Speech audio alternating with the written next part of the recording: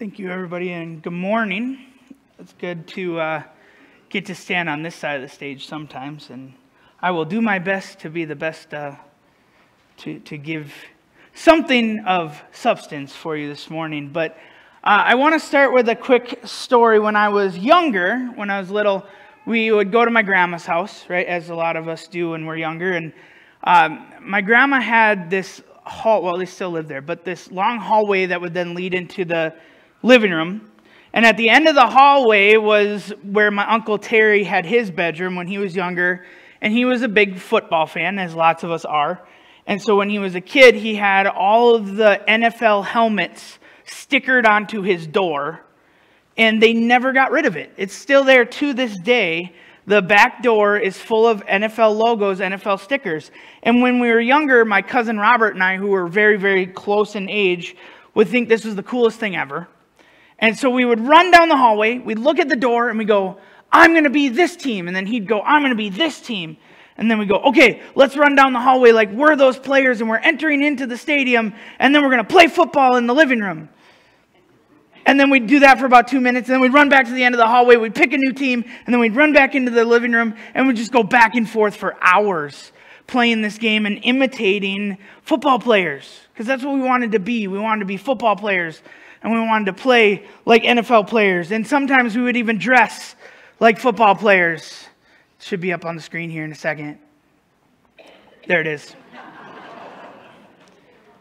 we wanted to be like the NFL players. We wanted to imitate the NFL players. That uh, my cousin Robert's on the left there, or I guess my right, your left, um, and then I'm on the other side. So there you go. Why do I bring that up? Well, we all want to be something, especially when we're younger. We all look up to other people, right? We all look up to other people or other uh, things, or, or we watch movies, or we listen to music, or all those things, and we go, I want to be like that, right? When Michael Jordan was playing, they always had that phrase, I want to be like Mike. And they made a movie about it. Eh. Um,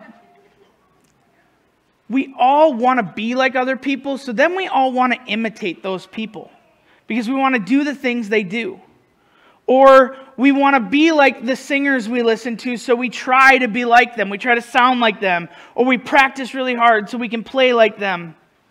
Or we want to be a doctor and so you play doctor as a kid and you imitate a doctor as a kid. And as you go, then you go through the classes and then you go through everything and then you become a doctor. We imitate those things we want to be like. We imitate those things like we have in our life to use as examples. In um, the wonderful radio program Adventures in Odyssey, if you ever heard of it, it's a radio program by a Focus on the Family that's been going on since 1987. Um, I've been listening to it since 1990, which was the year I was born, for those who haven't figured or can't. Yeah, anyway, doesn't matter. I've been listening to it for a long time, and it's still going on to this day.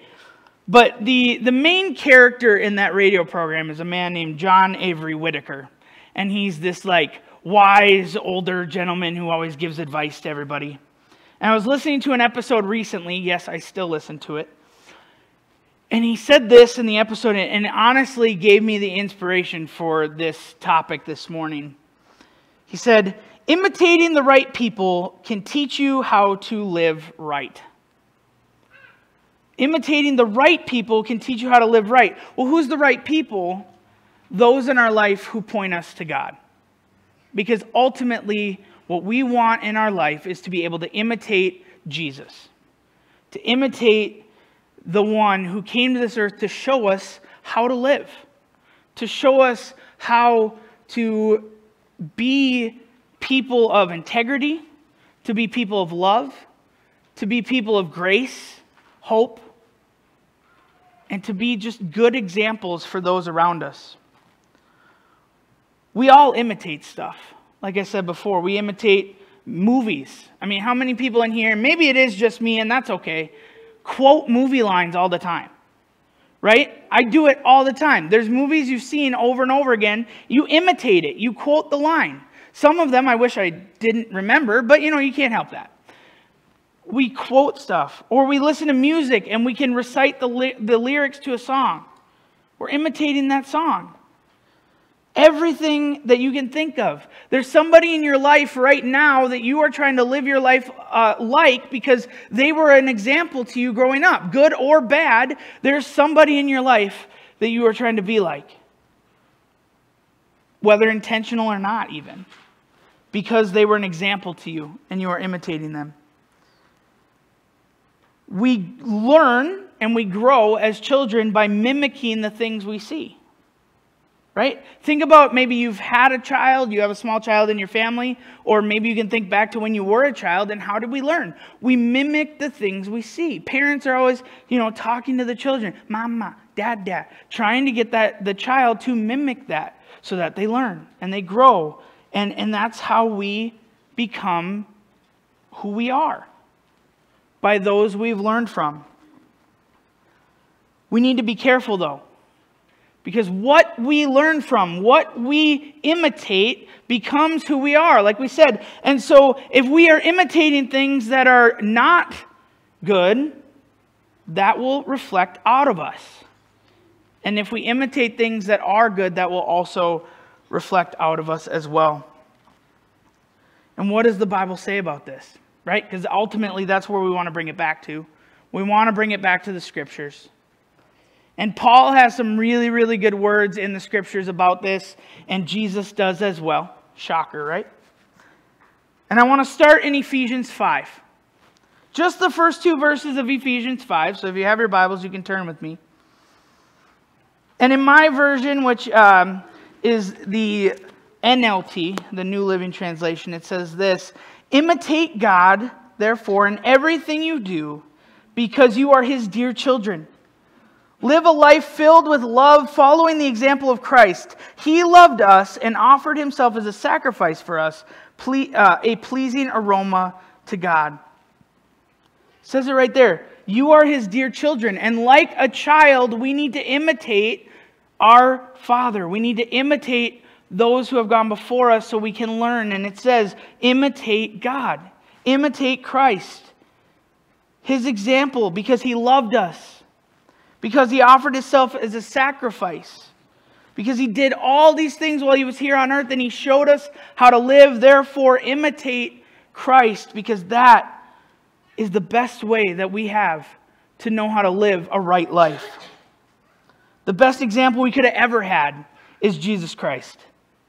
And in here, Paul is writing to Ephesus to encourage them to help them know how to live their lives opposite of the world and the culture of the time. You see, I, I read somewhere that at the time of this, they didn't have the New Testament, right? They didn't have the Gospels written to them. They didn't have it readily available. There were no Gideons back then to hand them out the New Testament, right? Because it didn't exist yet. What they had was people like Paul who would write letters to say, I saw this. I saw Christ, or, or I've heard firsthand accounts of what Christ did. Now let me tell you so that you know how to live rightly. And so when he writes this in, in Ephesians, when he writes to the, the church in Ephesus, he's saying, This is what I know because this is what I've seen, that this is how we need to live. He also writes to, to the church in Philippi, in Philippians. So um, if you want to keep turning, we'll go to Philippians now. And in Philippians chapter 2, we're going to read a little bit here, chapter 2, verses 1 through 11. Paul again is talking about this idea of imitating Christ, of having the same attitude that Christ has, and he's telling them exactly what that means. So read with me in chapter 2. Is there any encouragement from belonging to Christ? Any comfort from his love? Any fellowship together in the Spirit? Are your hearts tender and compassionate? Then make me truly happy by agreeing wholeheartedly with each other loving one another and working together with one mind and purpose. Don't be selfish. Don't try to impress others. Be humble, thinking of others as better than yourself. Don't look out only for your own interests, but take an interest in others too. Here it is. You must have the same attitude that Christ Jesus had. In other words, you must imitate Christ. Though he was God, he did not think of equality with God as something to cling to. Instead, he gave up his divine privileges. He took the humble position of a slave and was born as a human being when he appeared in human form. He humbled himself in obedience to God and died a criminal's death on the cross. Therefore, God elevated him to the place of highest honor and gave him the name above all other names, that at the name of Jesus every knee should bow in heaven and on earth, under heaven and on earth and under the earth, and every tongue confess that Jesus Christ is Lord to the glory of God the Father. Now, what he's not saying here is you need to have, you need to be just like Jesus and consider yourself to be God. No, it's not what he's saying. What he's saying is you should have a mind like Christ, right? We're not going to be perfect. We're human. We can't. But if we can try to be as close to Christ as we can, then we can do those things. It starts off with don't think of ourselves as equal to God. We're not. As soon as we think we're equal to God, we end up being like Satan. That was his problem. He thought he could be equal to God, and then he thought he could be better than God. Say, No, don't do that. You're not equal to God. God is here. We are here.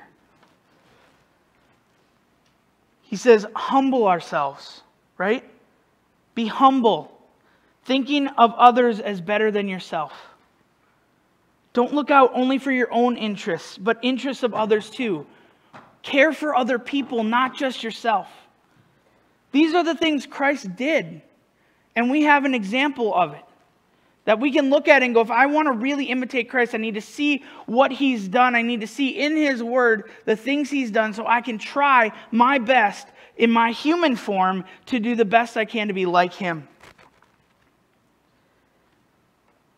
We haven't, there's examples all over Scripture, right? But one of, one of the ones I really, really like speaking on and sharing on and honestly, when I was talking to Pastor Steve about what I wanted to preach on, this was also my other option. So you're getting a two for one today, uh, except the shorter version of this. But there's a wonderful example of Christ showing people how to live, right? Saying, look at what I'm about to do, and you want to imitate that. And it's in John 13. And it's this beautiful story of Jesus caring for his disciples in a way they would have never expected.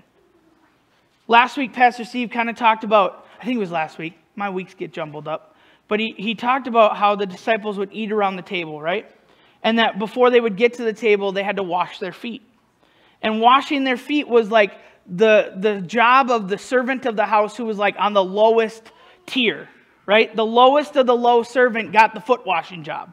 Nobody wanted that one. So if you were the new guy, you got the foot washing job. Why didn't they want it? Because it was dirty. It was gross. It was, you know, people walked around with sandals sometimes, barefoot most of the time. There weren't nice paved roads most of the time, so they were walking around in dirt. They didn't have nice cars, they had animals. Just think about that one for a minute. Things that they would have to walk around in. Their feet were dirty. So the lowest of the lowest job was to wash the feet as they would come in to sit down for dinner. And Christ, in this meeting together, when they went to this dinner, was the head of the table. He was the guest of honor. And he could have easily been like, I'm the guest of honor. I'm going to sit here. You can wash my feet. We'll go about the dinner. But that's not what happens. When you, when you read through John 13, what happens is Christ says, okay, I'm going to take the mind of a servant, like it says in Philippians. I'm going to take the mind of the servant and I'm going to serve those I love. It even goes on to say that he wanted to show them the full extent of his love. The full extent of God's love. Think about that for a second. The full extent of God's love was to serve those he loved, was to serve those he cared about. We want to know what Christ was like. We read stories like this to know what he would do and how he treated others. And those he loved, he served. That even though he could have taken the, the spot of the head of the table and everybody would have been completely fine with that, he said, No, no, no, I want to show you how much I actually love you. And I'm going to come down and I'm going to serve you. I want to read starting in verse 12 of John 13. Jesus' response, once all of it kind of ends, it's at the very end of it. And if you read the whole thing, like Peter has some really fun moments in there because he, he tends to have foot and mouth itis like I do, where he'll say stuff and Jesus like, "Come on, Peter, we've talked about this." Right? He has one of those moments where he's like, "Whoa, you're not going to wash my feet. You you're not going to serve me." And Jesus is like, "Nuh-uh, if I don't serve you and wash your feet, then you have nothing to do with me." Oy, scary. But after all of that happens, after the foot washing is complete, Jesus says these words. And again, it's this idea of where do we see that we need to imitate Christ? Right here, he's telling us in his own words. These are red letters in the Bible if you have red letter Bibles. These are Jesus' actual words. Verse 12 After washing their feet, he put on his robe again and sat down and asked, Do you understand what I was doing? You call me teacher and Lord, and you're right, because that is what I am. And since I, your Lord and teacher, have washed your feet, you ought to wash each other's feet. I, verse 15, I have given you an example to follow. Do as I have done to you. I mean, I could stop right there. That's my whole sermon in a sentence. Jesus says, Do as I have done. Follow me. Imitate me. See what I did? Do that. Right? Jesus do or, or Jesus did, we do. I mean, we want to do what he says. We want to mimic Christ. We want to be like Christ. Paul says, imitate God, imitate Christ. We want to know how to do that. We got to know him. You can't imitate something you don't know. I can't go off and imitate something I don't know. I see, I can't even think of something because it's something I don't know. But I couldn't. So let's say I went to an airport and they said, okay, we don't have a pilot for this plane. You got to sit in and pilot the plane. I couldn't do that. I can't imitate a pilot because I don't know how to be a pilot. It would go very, very badly. Honestly, it probably wouldn't because we wouldn't leave the gate because I wouldn't know how to turn the thing on. But the point is, is that we can't imitate things we don't know. If we want to imitate Christ, we have to know him. We have to know what he says. We have to know his words to us. And he shows this example to his disciples and he says, See what I just did? Go do that. Serve others as I have served you. Love others as I have loved you. Do unto others as you want them to do unto you. But we want to imitate Christ, we got to know him and we got to do what he says. I want to read just a, a, quick commentary on this one. As you, a lot of you know, if you've heard me preach before, I, I like to preach out of this NLT uh, application Bible, and they have some really, really good commentary in here. So I have a couple of them for you. But this first one comes off of this. It says, Jesus did not wash his disciples' feet just to get them to be nice to each other. His far greater goal was to extend his mission on earth after he was gone. These men were to move into the world serving God, serving each other, and serving all people whom they took the message of salvation. Christ doesn't do this stuff to say, okay, cool, you know it, you can just sit where you are. He says, look at what I'm doing, now go do it. Go out and show others how to love the way I have loved you. Imitate me. Now, it can seem very intimidating to try to think of imitating Christ perfectly, right? How can we, as humans who are, uh, you know, flawed and sinful, imitate a perfect God?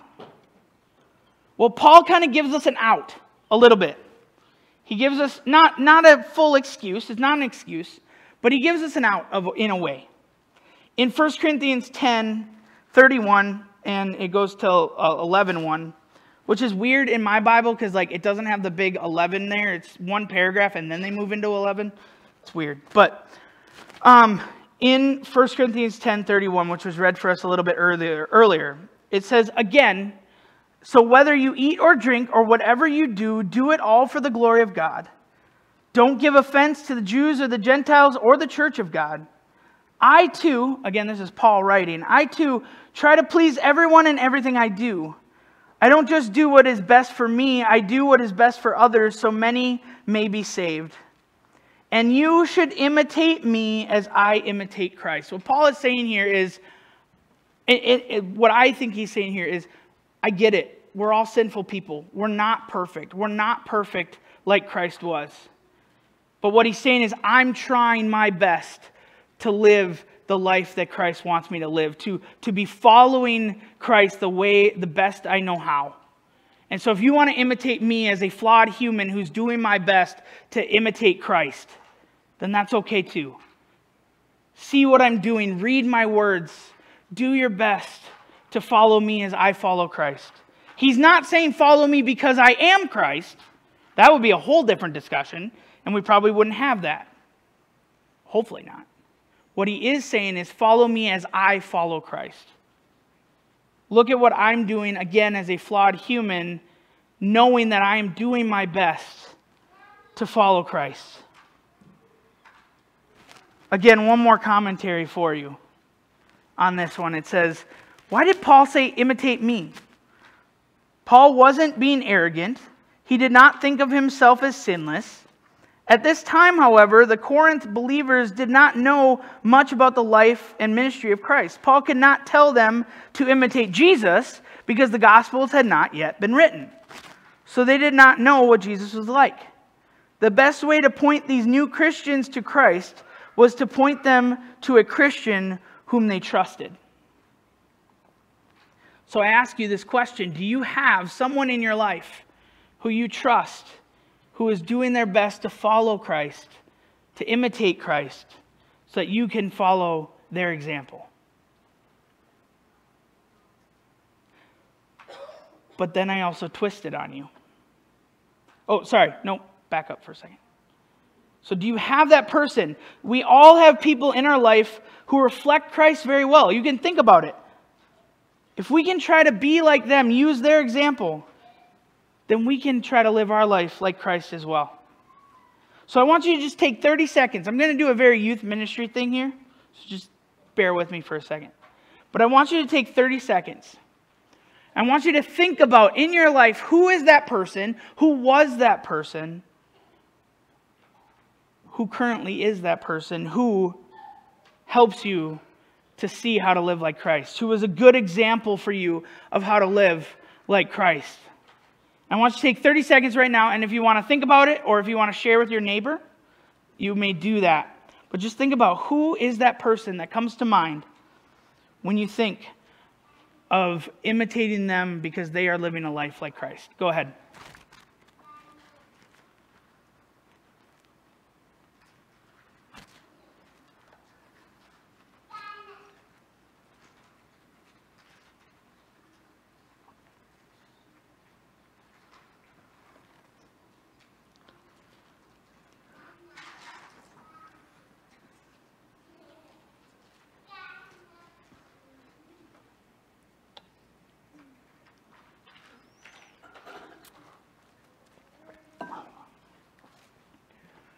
For me, when I think about this, I have so many examples that come through my head. But there's two I want to share because I know they're probably going to watch this later. Their names are mom and dad. yes, not your mom and dad, my mom. No. Um, and there's two, two reasons I say this. One, for my mother, who gives the example of how to just make sure that every day you start your day off in the right way. She wakes up early, she'll read her Bible, never really tells us she's doing it, right? She's not boastful about it at all.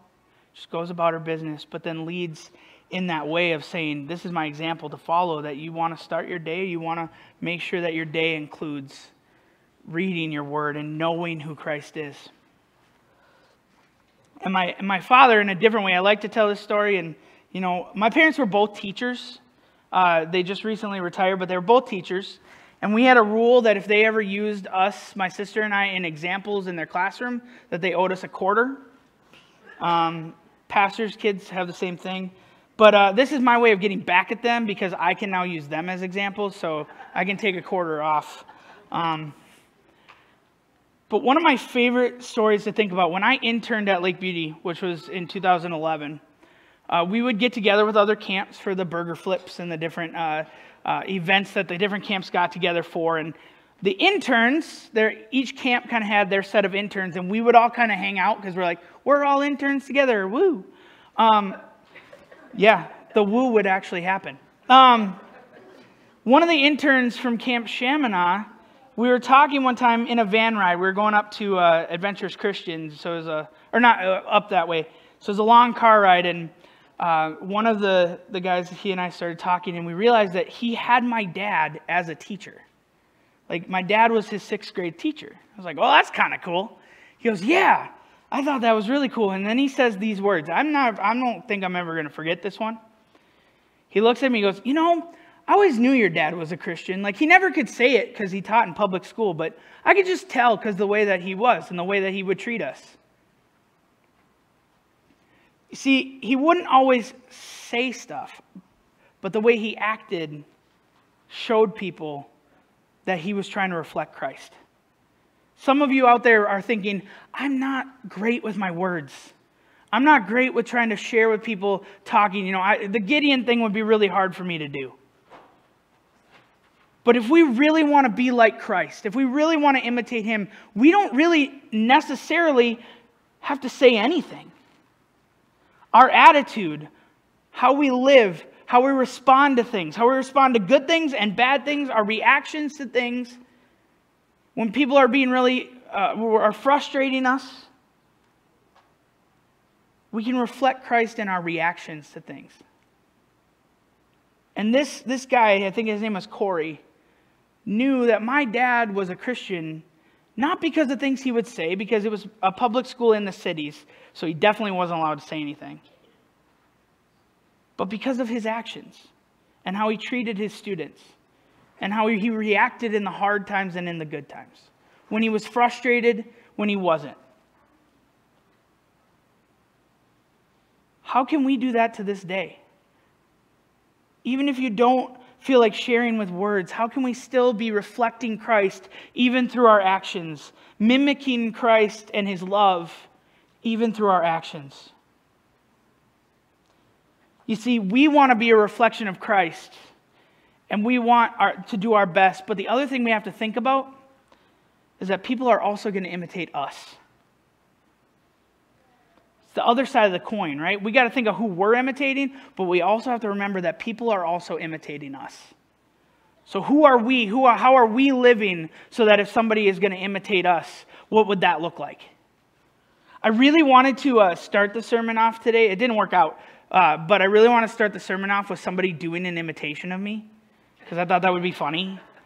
Uh, I, I asked Shane, I was like, Shane, you should go up there. We'll dress alike. You should go up there and be like, Hi, I'm Zach. It's time for the sermon.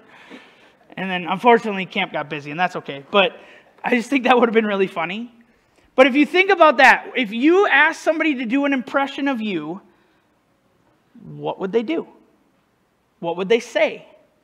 How would they act?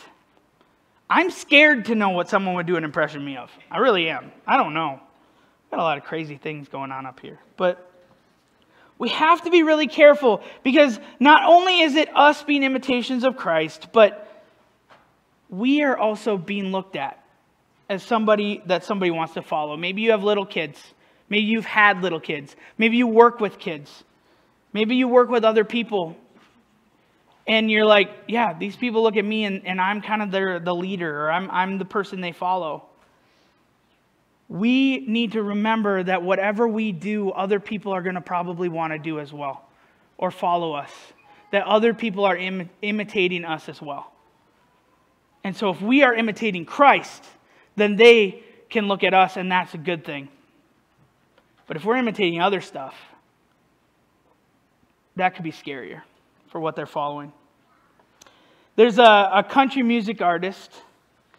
Oh no, he's going to talk about country music. Yes, I am. There's a country music, music artist named Rodney Atkins. He has a song came out a while ago called I've Been Watching You. It's, it's honestly a really good song. So if you just need a good song to listen to, it's a good one. Um, but the story of the song is this idea that he is a dad of a young son.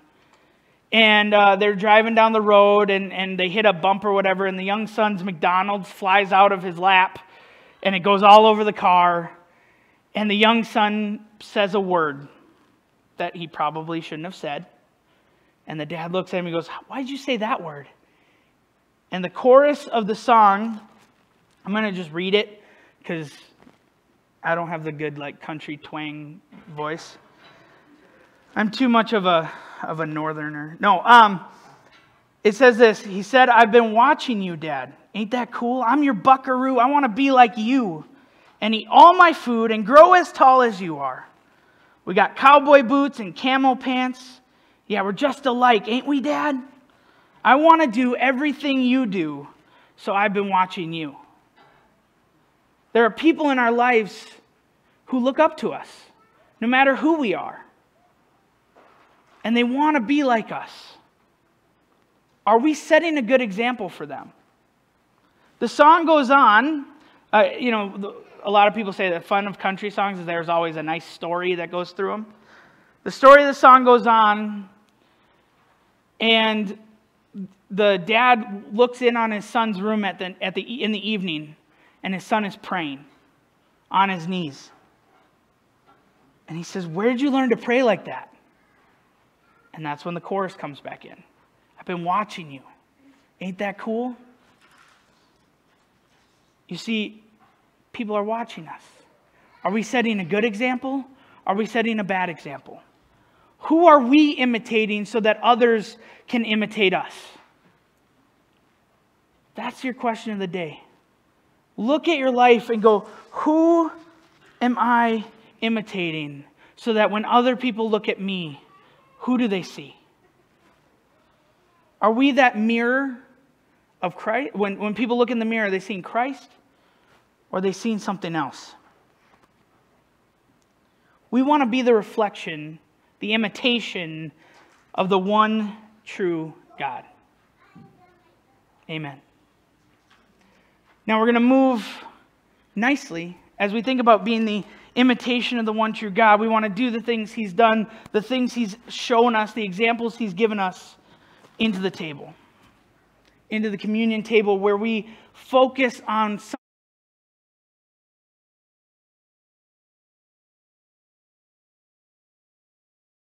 table, he ate with his, his friends, with his disciples. And it all comes down to the, the Last Supper when he says, Look at this. I'm going to give you an example, and I want you to follow that example. And we still have that to this day. And before I get started here, I just want to say for us at this church, we believe in Holy Communion, but we are open. If you are a believer of Christ, no matter if you're a member of this church or not. If you are a believer in Christ and you have that relationship with Him, you are invited to the table this morning. Because this is for those who have that relationship, for those who believe in Christ, want to remember what He has done for us on the cross. We come together this morning to the table.